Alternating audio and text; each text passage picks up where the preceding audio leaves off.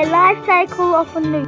New eggs are encased in a gown-like substance rather than a hard shell. Adult females release these eggs one at a time and store them in clusters ranging from a handful to several dozens. Newts that hatch from submerged eggs usually emerge with fish-like tails and gills that allow them to breathe beneath the water surface. As they grow older, lungs form they are called ips.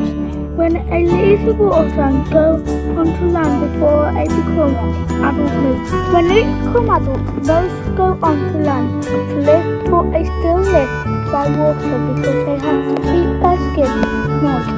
They also live near water because they must determine to breed and lay eggs. This is the complete life cycle of an